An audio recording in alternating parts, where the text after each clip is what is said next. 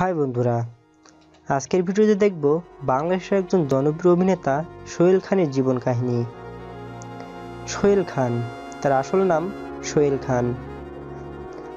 অভিনেতা সোহেল খান একটি সিনেমায় রাজাকার হিসেবে দুর্দান্ত অভিনয়ের জন্য হাজার হাজার মানুষের মন জয় করেছেন। আমন দেশে কোথাও খু, যে পাবে নাকো তুমি।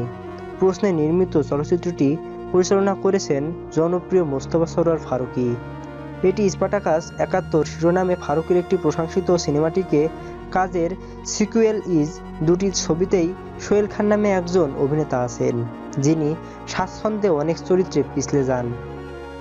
প্রায় তিন বছর আগে রবীন্দ্রনাথ ঠাকুরের টিভি নাটক গোয়েন্দা দিয়ে প্রথম ছোট পর্দায় হাজির হন। অল্প সময়ের মধ্যেই তিনি ছোট পর্দার অন্যতম ব্যস্ততম চরিত্রশিল্পী হয়ে ওঠেন।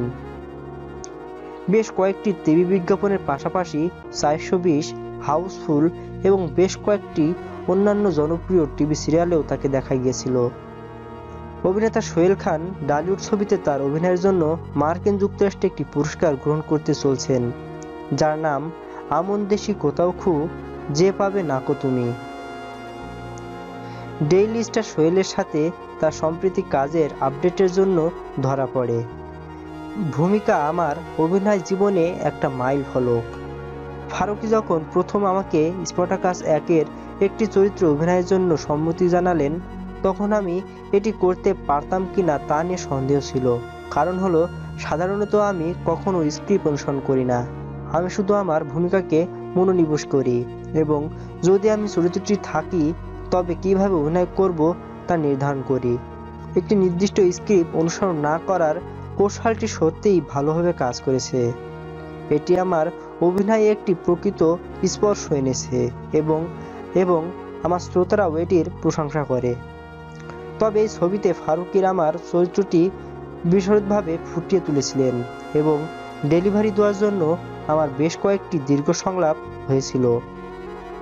সুতরাং এটি আমার চ্যালেঞ্জের মতোই ছিল, যেখানে আমার অভিনয় শৈলীর বিষয় ছিল। বরাবরের মতো ফারুকি আমাকে একটি মহান বিষয়ে অনুপ্রাণিত করেছিলেন। সোহেল এই কাজটি এত ভালোভাবে করেছেন যে কমপক্ষে বেশ কয়েকটি ভূমিকা তার পথে এনেছে। আমনের দেশি খোয়াই খু যে পাবে নাকো আমার চরিত্রের মতো। অভিনেতা হেসে বলেছিলেন, আমার চরিত্রগুলো বেশ একই রকম। যতক্ষণ আমার শ্রোতাদের এটি পছন্দ হয়, ততক্ষণ আমি আপত্তি করি না। আসলে শৈশব থেকেই তিনি টিভি তারকা হতে চেয়েছিলেন। কখনোই ভাবিনি যে আমি এত জনপ্রিয় হব। তবে মাঝে মাঝে আমি শুটিংয়ে এতটাই ব্যস্ত হয়ে পড়ি যে আমি পরিবার ও বন্ধুদের সাথে সময় কাটাতে পারি না। বুঝতে সহজ যেহেতু তার দুটি স্কুলগামী শিশু রয়েছে। তো বন্ধুরা, আজকের ভিডিওটি এই পর্যন্তই। যদি ভিডিওটি ভালো লেগে থাকে, তাহলে আমাদের ভিডিওটিকে লাইক করে ভিডিওটি বন্ধুদের কাছে শেয়ার করুন। এবং আমাকে চ্যানেলটি যদি আপনি নতুন হয়ে থাকেন, তাহলে এখনই আমাকে চ্যানেলটিকে সাবস্ক্রাইব করুন এবং পাশের বেল আইকনটি অন করে দিন।